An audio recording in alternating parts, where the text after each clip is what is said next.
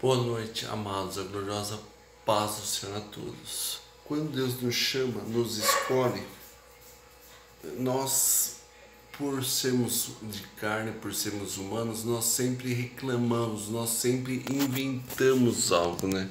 Nós sempre inventamos uma desculpa, nós sempre colocamos um problema que nós que nós temos falando, não, Deus, eu não vou, não vou conseguir porque eu tenho dificuldade para fazer isso. Esquecemos que quem está nos chamando, que tem quem está nos mandando ir é o todo-poderoso Deus, né?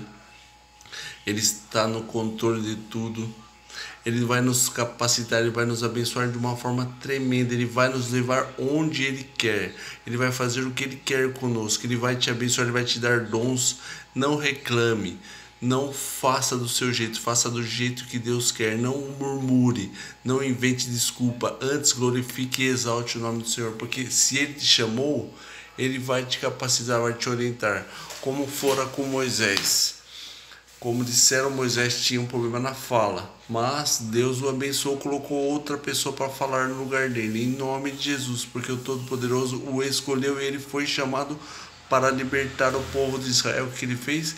Ele foi lá, murmurou no começo, reclamou, inventou problemas, inventou dificuldades, mas ele foi para a honra, glória, louvor, adoração do nosso Deus.